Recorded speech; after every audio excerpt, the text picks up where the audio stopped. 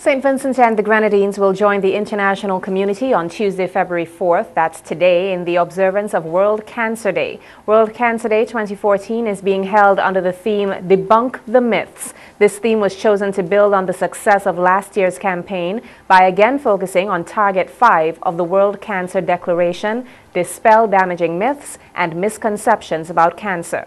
Cancer is one of the leading causes of death in St. Vincent and the Grenadines, according to Dr. Rosmond Adams, focal point on non-communicable diseases in the Ministry of Health, Wellness and the Environment.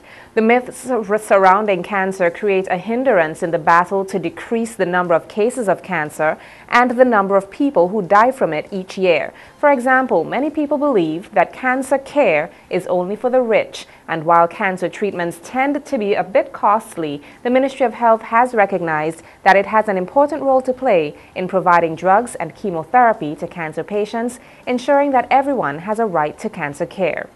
The Ministry of Health, Wellness and the Environment encourages women to do their pap smears and mammograms and men to do their prostate cancer screening.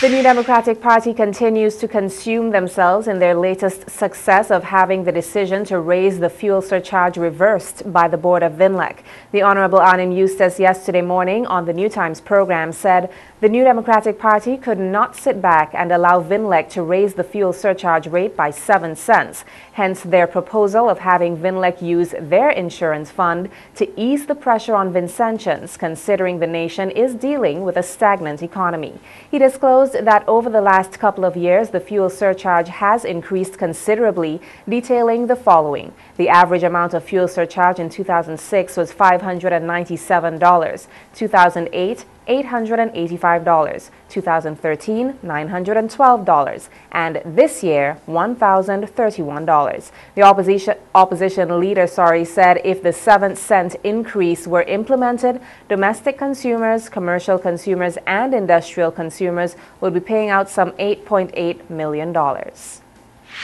The National Parks, Rivers and Beaches Authority, in collaboration with the Nature Conservancy, hosted the first National Consultation for the Eastern Caribbean Marine Managed Areas Network, or ECMMAN project, here today. The four-year project is funded by the International Climate Initiative via the German Federal Ministry for the Environment, Nature, Conservation and Nuclear Safety and involves six OECS countries. Speaking at the opening of the consultation this morning, Dr. Sherry Constantine of the Nature Conservancy outlined some of the objectives and benefits of the ECMMAN project. Director of National Parks, Rivers and Beaches Authority Andrew Wilson during his feature address said the journey continued today with local stakeholders at the country level to deepen awareness about the project. Speaking at the 20th annual convention of the Unity Labour Party, ULP, party chairman Edwin Snagg suggested that there could be snap elections as the ULP seeks a fourth consecutive term in office. According to CANA News Online, Snagg said that while traditionally a race begins with on your mark, get set, go, ULP supporters could hear on your marks, go. But Dr. Gonsalves, prime minister and party leader gave only the on your marks order as he addressed the convention at the Campden Park Secondary School. The online release from CANA says Dr. Gonsalves spoke about his party's accomplishments since coming to office in 2001 and its vision for fourth term, but also spent much of his two-hour address saying why he thinks the main opposition New Democratic Party, the NDP, which holds seven of the 15 seats in Parliament, was not fit to govern the country.